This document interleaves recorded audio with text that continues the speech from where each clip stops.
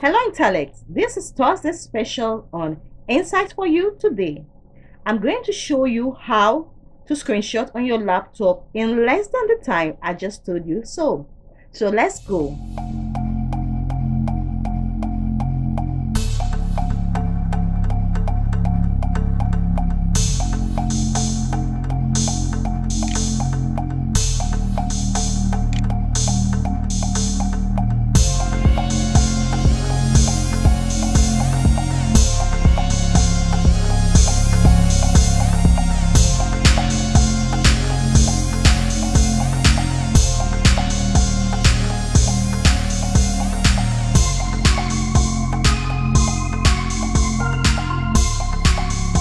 So here we are.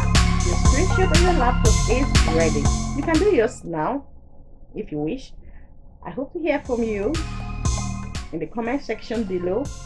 And I hope you liked my video. Please, if you did, give it a thumbs up. Don't forget to subscribe. See you next week. Bye.